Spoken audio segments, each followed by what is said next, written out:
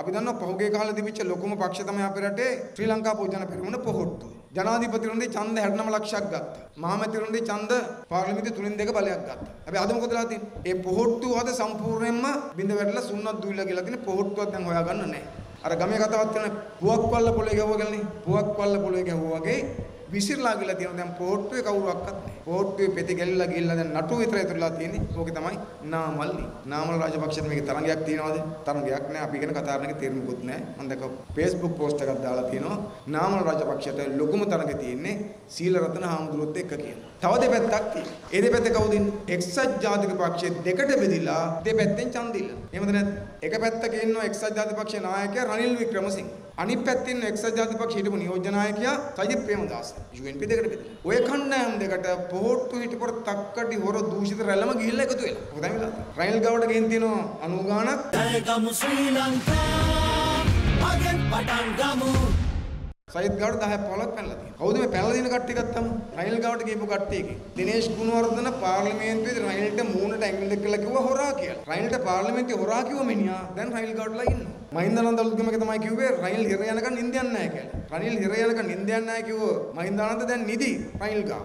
එසා ඊයේ බයිනවා දෙකතු වෙන. දැන් සයිත් මාත් එක්ක බලනකොට ඊට අපන් සංස්කෘතික අමාත්‍යාංශයේ මුදල් වංචා කරා කියලා චෝදනා කරපු ඩලස් අලහප් පෙරුම ඉන්නේ සයිත් එක්ක. ඩලස්ට ලැජ්ජත් නැහැ සයිත් ලැජ්ජත්. විල්පත්තු කැලේ කැපුවේ කියලා චෝදනා ලැබපු රිෂාඩ් බදුදිගිනේ කොහෙද? සයිත් එක්ක. එතකොට විල්පත්තු කැලේ කපනකොට ඒකත් කෑ ගහපු යුද ප්‍රකාශ කරපු චම්පි කරනවක ආය ඉන්නේ සයිත් එක්ක. දෙන්න එකට ඉන්නවා. චම්පිකයි රිෂාඩ් බදුදින් දෙන්න එකට ඉන්නවා. අපේ රටේ පරිසරය රැගෙන හාමුදුරන් වහන්සේ නමක් හිටියනේ. ආනන්ද සාගර හාමුදුරුවෝ කියලා. පරිසරය රැගෙන හාමුදුරුවෝ හැබැයි ඉන්න කයකද පරිසර විනාශ කරපු රිෂාඩ් බදුදින් ඉන්න තැන. ක්‍රිකට් විනාශ කරේ තිලංග සුමතිපාල කියලා කියපු අර්ජුන රණතුංග ඉන්නේ සයිද් ගාව. ඒ තිලංග සුමතිපාල ඉන්නේ සයිද් ගාව. කොහොමද එහෙම කට්ටිය ඉන්නේ? හැබැයි එහෙම ඉන්නව ළඟට වෙලා. ඇයි ඒ? ඒක අපට පැහැදිලි. මොකද්ද? ඒ තමයි අර අපේ ගම්වල කතාවක් තියෙනවා. මහා ගම් වතුර ඇවිල්ලා දෙගොඩ තලා යනකොට නයි මුගට එක කොටයට කොට වෙනවා කියලා ජීවිතේ බෙරගන්න. දැන් වෙලා තියෙන මොකද්ද? දැන් මේ ජාතික ජන බලය කියන මහා දැවැන්ත මහජන ව්‍යාපාර හැදිලා මේක ජයග්‍රහණය කරා ජනතාව එකතු කරන් දෙගොඩ තලා යනකොට දේශපාලන විරුද්ධවාදීන් ටික දැන් ඔක්කොම කොට වෙලා තියෙනවා. කට්ටිය ඉන්නේ කොට දෙක.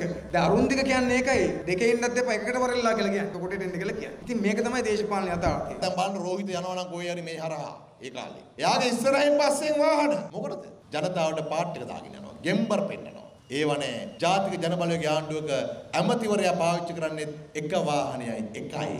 ඉස්සරහා පස්සේ වාහන නැහැ. ඊළඟට ඔබ රජයේ සේවකයෙක් අවුරුදු 35ක් ගිහිල්ලා තමයි පෙන්ෂන් එකකට වග වෙන්නේ. පොඩිලයිෂයට එහෙමත් නැහැ. පාර්ලිමේන්තු ගියොත් අවුරුදු පහෙන් පෙන්ෂන්. ඒක ගොඩක් අයට ප්‍රශ්න වෙලා තියෙන්නේ ඉක්මනට පාර්ලිමේන්තු ඉස්රෝන එක පෙන්ෂන් නැතුව ගෙදර යන්න වෙනවා. 2015 ජනවාරි 8 වෙනිදා ශිෂ්‍යයට පත් කළ ජනාධිපති කමට දින 100 අවසන් වෙන අප්‍රේල් 22ට පාර්ලිමේන්තුවේ විසිරෙව්වේ නැහැ. ඇයි ඒ? අවුරුදු පහ පිරෙනකන් ඇදගෙන ඇදගෙන ඇදගෙන ගියා. පෙන්ෂන් එක ගන්න. අපි මොකටද ඒගොල්ලෝ බලාගන්නේ? ඒගොල්ලන්ට පෙන්ෂන් එක නැතිව වගේ තමයි අපේ රටේ මේ විශ්‍රාම ගිය ජනාධිපතිලා නෝනේ රොත්තා. ඒගොල්ලන්ට අමතරව එයා එයා මැරුණොත් එයාගේ නෝන හරි මහත්තයා හරි ඒගොල්ලෝ බලා ගන්නත් ඕනේ අපි. තමුන්නාසයට තමුන්නාසේ නෝන බලා ගන්න බෑ. දරු ටික බලා ගන්න බෑ. හැබැයි ඒගොල්ලෝ බලා ගන්න ඕන.